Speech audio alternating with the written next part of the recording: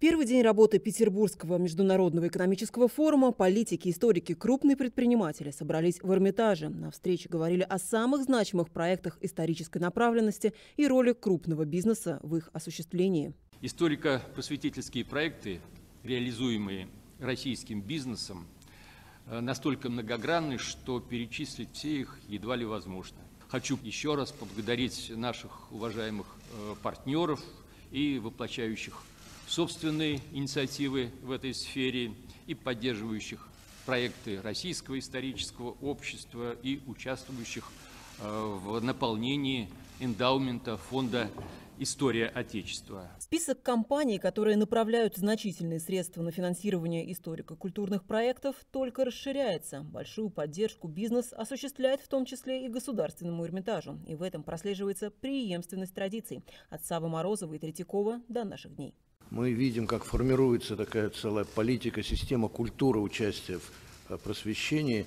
даже уже отходящая от таких западных лекал, по которым сначала все строилось. Сотрудничество и с государством, которое теперь, согласно поправкам Конституции, обязано поддерживать культуру, а не только делать ее доступной, э, создают э, дают гранты все, все, всевозможные для проектов, которые существуют. Онлайн-выставки и подробный рассказ об экспонатах в интернет-пространстве, когда каждый желающий может досконально изучить практически любой предмет из коллекции того или иного музея, не отходя от компьютера. Новые тренды, которые активно развивались во время пандемии и показали, контент тоже можно монетизировать. Однако все это, конечно, не может полностью заменить обычного похода в музей. Да, бизнес – это безусловно, важная составляющая, но наступает время, когда ты э, задаешь себе вопрос, а зачем, а почему, а для чего. И э, естественным ответом на это, безусловно, наступает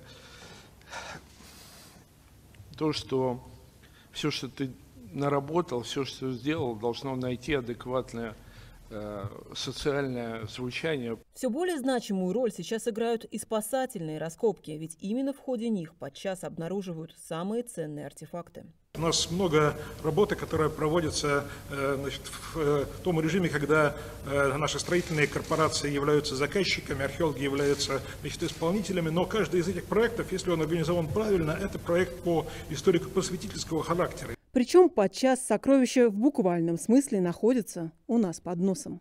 Кто бы мог подумать, при, что при строительстве центральной кольцевой автомобильной дороги мы найдем э, замечательные шлемы, которые э, относятся к периоду Ивана Грозного, который мы один тоже вот восстановили, передали в исторический музей. В планом э, с историческим обществом мы прорабатываем сейчас проект создания музейного комплекса на трассе Москва-Санкт-Петербург. Глобальная стратегия поддержки просветительских культурных проектов уже выработана. Это создание так называемых эндаумент-фондов, где аккумулируются средства и пожертвования меценатов. В век цифровых технологий деньги и расчеты тоже становятся цифровыми. А вот так они выглядели раньше. В ходе визита в Санкт-Петербург председатель Российского исторического общества посетил выставку в Петропавловской крепости, которая открылась к столетию советской чеканки. За стеклами витрин монеты от времен НЭПа до перестройки. Это эскизы монет, которые швейцарская фирма предложила чеканить в Советской России. Именно здесь, в Петропавловской крепости, ныне одной из главных площадок Музея истории Санкт-Петербурга, состоялось первое заседание попечительского совета музея, главой которого был избран Сергей Нарышкин. Это наследие имеет колоссальное значение для жителей города.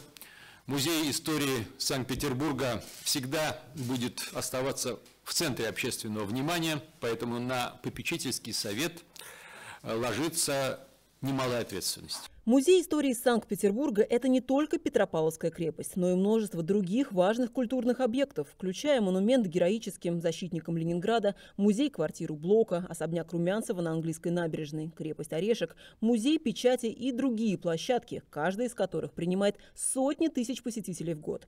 Одна из главных задач на сегодня – это проведение реставрационных работ. Их объем предварительно оценен более чем в 4 миллиарда рублей реставрация Меньшикского э, бастиона, реставрация фасада Тропаловской крепости, выходящего э, на Неву, и э, ряд других объектов, которые входят в состав э, Музея истории Санкт-Петербурга. Это и э, крепость Орешек. Конечно, она нуждается в больших реставрационных работах, так же, как нуждается и в дальнейшей реставрации памятник защитникам э, города Ленинграда. В попечительский совет Музея истории Санкт-Петербурга вошли самые известные и влиятельные политики, бизнесмены и деятели культуры. И если учесть, что залог эффективной работы совета – это в первую очередь его состав, можно с уверенностью сказать, что музей реализует еще немало значимых проектов. Служба информации Фонда «История Отечества».